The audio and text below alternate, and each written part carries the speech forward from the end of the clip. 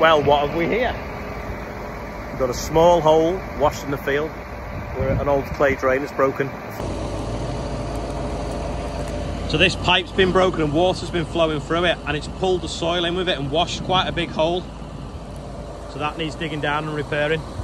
I'm just finishing off spreading now.